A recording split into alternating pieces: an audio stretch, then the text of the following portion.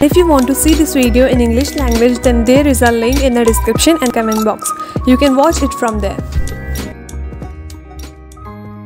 Hey guys, this is Sania Sheikh and welcome back to my channel Foodies Cooking Show. So आज हम बनाने जा रहे हैं home made chilli flakes and oregano बहुत ही ज़्यादा इजी वे में सिर्फ दो मिनट में सो so, चलिए बनाना स्टार्ट करते हैं। तो so, बहुत लोगों की कन्फ्यूज़न है कि ओरिगेनो बनता किससे?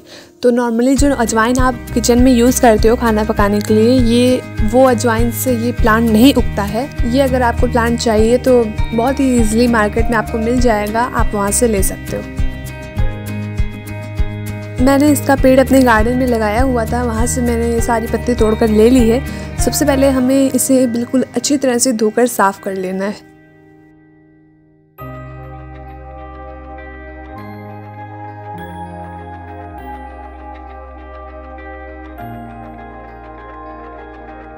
इसे अच्छी तरह से धोकर साफ़ करने के बाद अब हम इसे एक कपड़े से, साफ़ कपड़े से पोछ कर इसका पानी साफ़ कर लेंगे।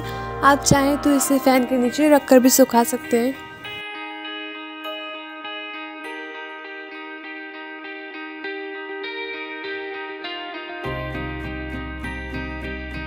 और अब हमें सीज़र की ज़रूरत है, ये जो पत्ती की डंडी होती है, इसे हम काट लेंगे क्योंकि जब हम पत्ती को सुखाते हैं तो इसकी डंडी ये जल्दी सूखती नहीं है।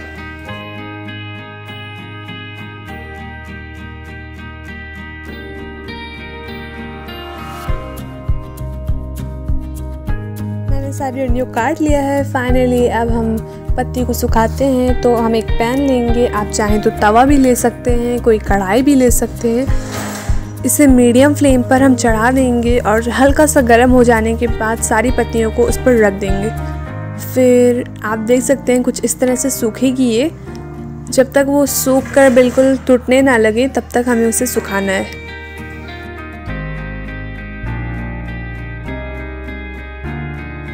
अब हमारी पत्तियाँ बिल्कुल सूख चुकी हैं, इसे हम निकाल लेंगे। इसी तरह से हम बाकी पत्तियों को भी सुखा लेंगे। आप चाहें तो इन्हें धूप में रख के भी सुखा सकते हैं। 10 से 15 दिन तक आपको धूप में रखना रहेगा। बिल्कुल इस तरह हमारी पत्तियाँ होनी चाहिए और अब इसे हम हाथ में लेकर बस कुछ नहीं करना है, बस हाथ से क्रश कर लेना है इन्हें। देख सकते हैं कितनी अच्छी सूख कर बिल्कुल क्रश हो रही है ये।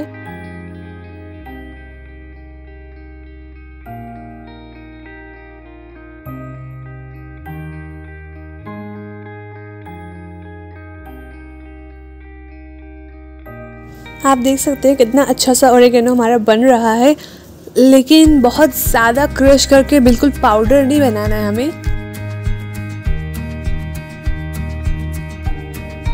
लास्ट में हमें इस तरह की छन्नी लेकर ओरेगेनो को छान लेना है, ताकि ये जो पत्तियाँ सही से ड्राई नहीं हो पाई हैं, सूख नहीं पाई हैं, वो सारी इनसे अलग हो जाए। आप चाहें तो उन पत्तियों को फिर से सुखा कर क्रश करके इस्तेमाल कर सकते हैं। एंड हमारे ये बिल्कुल मार्केट वाला ऑरिगेनो घर पर बनकर रेडी है टेस्ट और लुक इसका बिल्कुल सेम वैसे ही रहता है। सिर्फ़ दो मिनट में हमारा होम मेड ऑरिगेनो बनकर रेडी है। अब बारी है होम मेड चिली फ्लेक्स बनाने की। यहाँ पर मैंने लाल मिर्च ली है, खड़ी वाली। इसकी डंडियाँ मैंने तोड़ ली है और अभी इसे सुखाने के लिए मैं यहाँ माइक्रोवेव का यूज़ कर रही हूँ। आप चाहें तो इसे भी तवे पर सुखा सकते हैं। तो अब इसे हम एक मिनट के लिए माइक्रोवेव कर लेंगे और फिर हमारी लाल मिर्च बिल्कुल सूख कर रेडी हो जाएगी।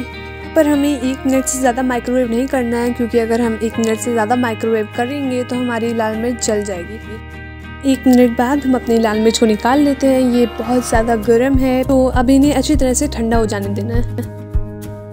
ठंडी करने के बाद इसे हम एक मिक्सर में डालेंगे और फिर सिर्फ़ पाँच सेकंड के लिए ग्राइंड कर लेना है। फिर इसी तरह के छन्नी में डालकर हमें छान लेना है इसे भी ताकि जो बड़ी बड़ी मिर्ची रह गई है, वो अलग हो जाए इससे। एंड हमारा होम मेड चिली फ्लेक्स भी बनकर रेडी है, बिल्कुल मार्केट जैसा। Hope you guys like this video हम आप लोगों को 100 परसेंट गारंटी देते हैं। चिल्ली फ्लैक्स एंड ओरिगेनो दोनों बिल्कुल सेम रहेगा मार्केट जैसा ही रहेगा। तो ही guys if you like this video so give me a thumbs up and don't forget subscribe my channel post new video every week follow me on Instagram take care bye bye thanks for watching